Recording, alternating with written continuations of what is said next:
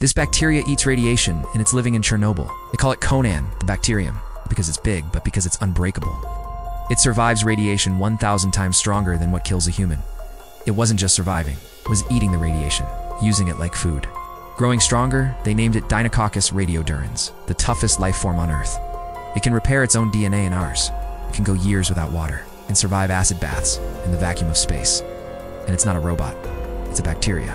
Scientists. Scientists found it in Chernobyl inside the reactor where no life should exist. Even if it's shattered into hundreds of pieces, NASA studies it because if life can survive here, it could survive on Mars or Europa or in deep space. We build bunkers to survive disasters. This bacteria doesn't need one. It is the bunker. We think we're the future, but evolution already made something better, smaller, silent, and nearly indestructible. This isn't science fiction, this is Earth. And it's full of secrets we're just beginning to understand.